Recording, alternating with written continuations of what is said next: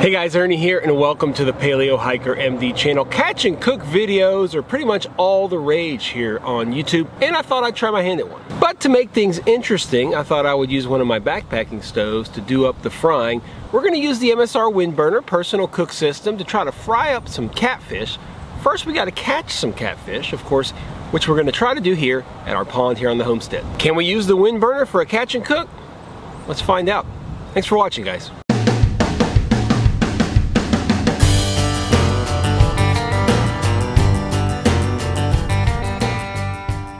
So like I said, the first thing we need to do is catch a fish. We're gonna do it here at our pond. We have about a one to one and a quarter acre pond here on our property. It's stocked with all kinds of fish. I've got largemouth bass, I've got spotted bass, of course, I've got channel catfish, quite a few of them that I've put in there. We've got other things like white crappie, black crappie. We've got a lot of different sunfish, panfish.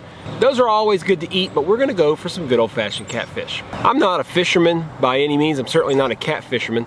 Uh, I'm just doing what I think will work and the way I've caught fish before. Uh, greasy piece of meat on a circle hook and a bobber to let me know when they grab it. I also have a little weight to try to keep that greasy piece of meat on the bottom. Or at least as close to the bottom as I can. We're gonna put two rods out, see what we catch. Could be a turtle. It's a good sign though. I don't know if it's just a fish pecking at it or something grabbing it. Let's pull it up and see.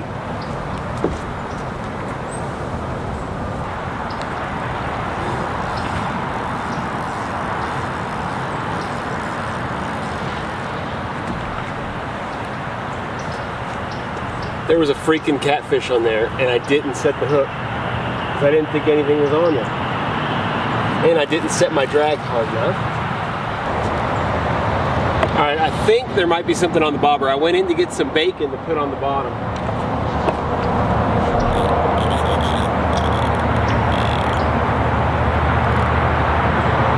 Yeah, there's something on there.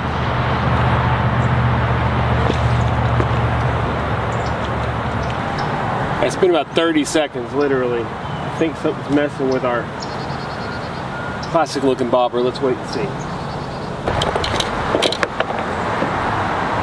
I didn't have any catfish bait. I'm gonna get a little bit of chicken thigh. Right, I switched spots completely to a little bit shallower area. And uh, we'll see what happens. I'm gonna give it about 10 more minutes. If not, catfish bait time.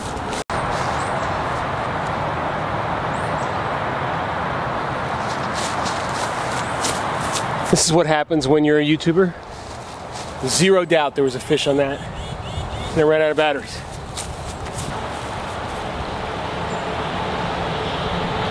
Bobber was like underwater. Chunk out of the out of the bait.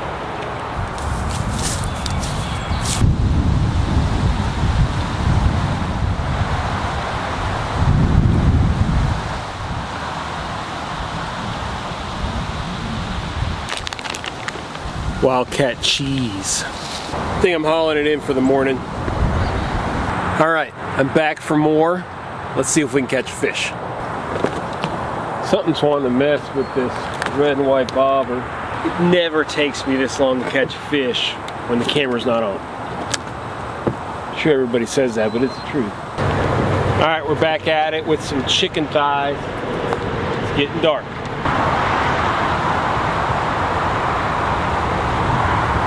We've got something on this bobber right here. Whoa. Bobber's gone.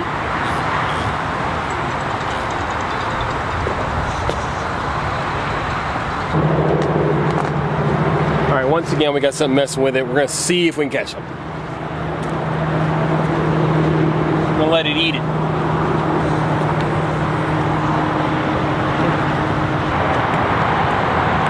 Guess I'm just not letting it eat it, but I've never had an issue with hooking a catfish. Maybe it's a turtle. I mean, it could be a turtle too. So, anyway, let's keep let's keep trying. What is taking it away? It has to be a turtle. I'm gonna keep an eye on it. All right, this other bobber's going now.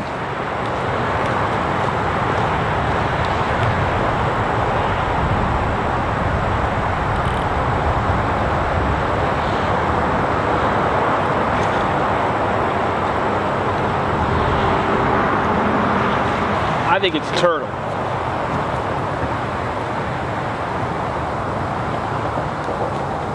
I'm gonna let it eat it really good.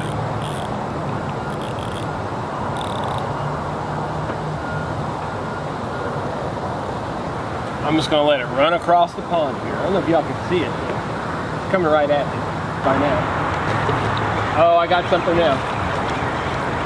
A turtle. A freaking turtle.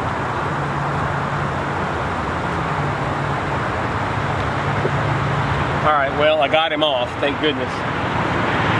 They're a royal pain to get off, but that's a bummer because that's not a catfish. This is probably another turtle, but we're gonna see. I don't know if you guys can see this bobber just going crazy.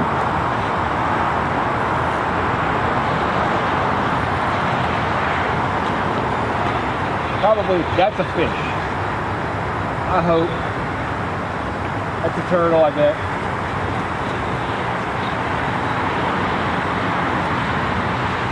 A fish. Whoa. Yeah, that's a fish.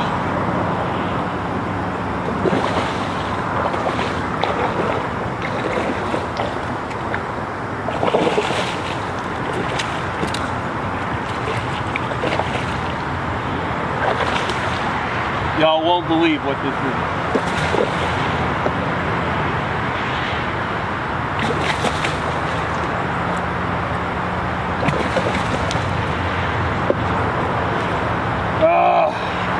Oh, me.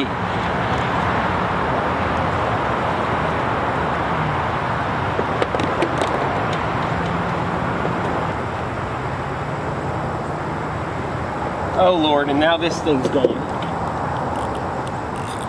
This is probably a turtle. Got something on here too. Oh, let it not be a turtle. Or another bowfin. This is a bowfin. Oh, we got a catfish. Okay. We got a lot going on here, folks. It's a big one. He can have my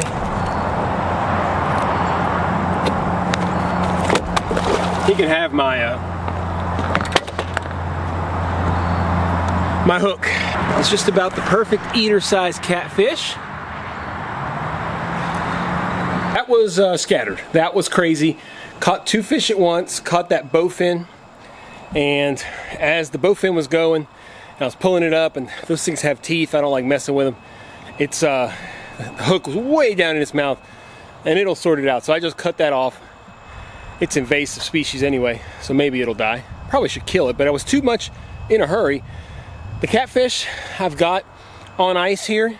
I'm not going to show you guys cleaning it up because YouTube it doesn't like cleaning fish. So uh, if I was showing you how to debone a fish in a kitchen they probably wouldn't make a big deal of it. But anyway, I'm gonna clean it up. All right, so actually we're out on the back porch. In case you're wondering, there's a fire extinguisher right there. Really not too concerned about it. We fry fish all the time here in Louisiana, but it's a little different because it's a small container. Now I wanna emphasize to everyone right now, I'm trying this just to see if it works. I in no way endorse using the Windburner this way. I don't recommend that you do it. Um, I think there's inherent risks to doing it. You have to be real careful. And yeah, just a disclaimer that I don't think that you should do this. I'm doing it to see if it'll work. Uh, it's certainly not what MSR had in mind when they designed the Windburner. So if you choose to do this, you do this completely at your own risk. I would make sure you follow safety protocols, have your fire extinguisher, and make sure you don't burn yourself. So what I did was I cut up the catfish into little small chunks. I got two decent sized fillets and I just have the one fillet to see if this works. And if it works, then off camera, I'll cook the rest. I think it's gonna be a matter of letting the oil heat up very slowly, but first, let's get these fish chunks breaded. This is what I like to use. Classic, um, I don't know if they sell this across the nation, but here's our chunks of catfish. Actually pretty nice. Smells a little gamey, but you kind of expect that with catfish.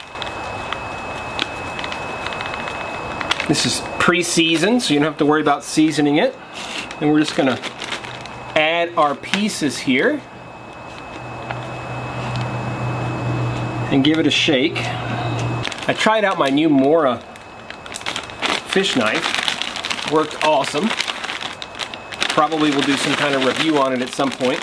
So this has a 20 ounce capacity for water. So we're gonna do about a third capacity and I need to go inside actually because I don't have anything to start this up with. Hold on. And whenever I fry stuff, guys, I just I just kind of go based on my eye. So that's I'm gonna do the same thing here.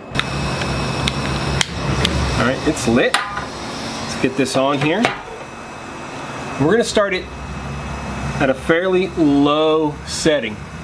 And we're just gonna let it slowly, that's really low, so it's like just barely going. We're gonna let this slowly heat up and then we'll test it by dropping a little bit in here and there and we'll be real careful and we'll adjust our flame. We've got paper towel here ready to catch our made fish. Already starting to really get hot, so we've got to be super careful. I really just wanted to see if this was possible. Uh, the reason is, is that I would love to go do some catch and cooks. Uh, I think I can catch some uh, bluegill, which are pretty good eating, out in the forest, out at a little creek that I can go to. But I don't want to carry a bunch of stuff out there, and I thought, man, it would be awesome if I could do a little catch and cook with just something like this. The Jetboil would not work. I thought about it in the past, but it just doesn't allow for the control that this does. I'm gonna drop a little bit in. Yep, still not ready. And that's okay, I really don't want to get it too hot too fast, so I'll bring you guys back here in a second. You know, in an effort to be smarter than I normally am, I'm gonna go ahead and check the temperature. Just so I have an idea where we're at. Yeah, see, we're at 165, 170, so it really needs to come up probably closer to like 350, 375 would be really good. But I'm gonna let that happen very slowly. I'm about 250. I'm gonna actually turn up the heat a little bit. It's just above 300. It's really not, well no, it's getting hotter and hotter. Never mind. It's 330. All right, it stopped at 333, 334. So we're getting close. Yeah, we're at right at 350. All right, right at 350. So I'm going to just let it sit for about another 30 seconds. You really want to shake off any excess. We'll drop in this piece of fish. All right, we're gonna drop one more in. We're not creating a total disaster. And what the hey? We'll drop one more in. Here we go. There we go. Three pieces in. These won't take very long because it's uh, small chunks. But they're almost ready.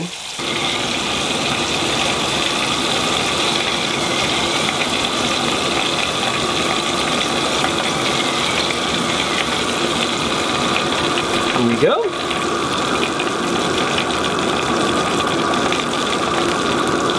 And that's it. We turn it up just a tad. Make sure that we get this nice and crispy. And you can hear it. It starts to give out a little bit. Obviously, you can see why using something like the Jetboil would not work because you have to be able to really just simmer this oil. Uh, the oil right now we're frying at just 300 degrees. Only 300 degrees, which is a little surprising. I would have thought it'd be a little more. All right, I'm feeling good about this. Turn it off completely. Let it fry just a little bit longer. You can see that it keeps frying for a good while. I had it turned off earlier. But this catfish looks good.